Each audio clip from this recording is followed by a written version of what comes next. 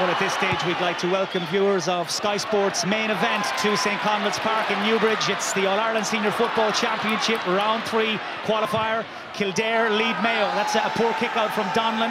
Paddy Durcan. It's coming in and it's over. He's always good for one or two, Paddy Durcan from Cal